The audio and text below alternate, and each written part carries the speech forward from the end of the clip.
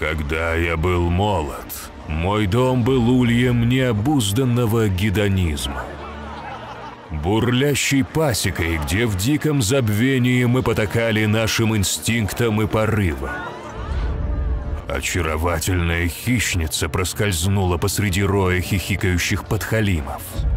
За напускной вежливостью я мог различить в ней смеющуюся жажду. Почти сведенный с ума, надоевший вульгарностью, я задумал избавить себя от этой притаившейся угрозы с помощью величественного акта жестокой охоты. Но когда я уже был готов нанести удар, свет убывающей луны показал все ее нечеловеческие желания во всем их поражающем безобразии.